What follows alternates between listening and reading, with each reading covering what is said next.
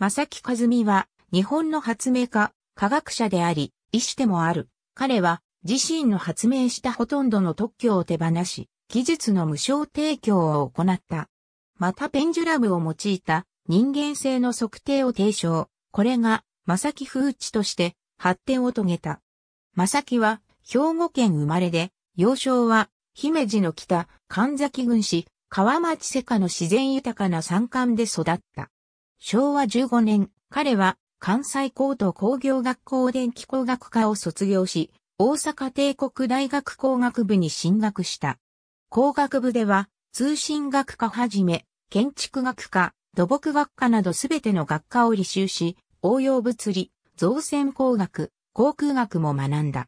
卒業が近づくと、正木には助教授のポストが設けられたが、彼はその提案を遠慮し、さらなる学びのため医学部に入学した。医学部で彼は神経エレクトロニクスの研究を行った。7年後に医学部を卒業すると、彼は力学の分野に進んだ。正木は後に通信工学科研究室に入り、工学部工作センター長となった。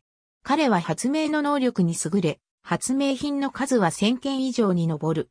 発明した具体的なものには、自動炊飯器、自動ドア、歯科用、ドリル、魚群探知機などがある。また、彼の技術によってカラーテレビの低価格化が実現された。正木は自身の特許の多くを手放した。これにより、社会的に技術革新が進んだ。なぜなら、彼の技術の公開が一般人や企業の新製品開発につながったからである。彼は発明品を作るにあたり、一瞬で設計図が頭にひらめくことがあったという。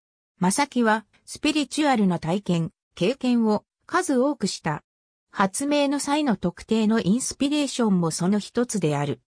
また彼は人々が幸せになる発明をしなさいという刑事的信号を受け、大阪大学のキャンパスを歩いている時に磁石を重りにして鎖で垂らした振り子を用いて人間性の測定を行うインスピレーションを得た。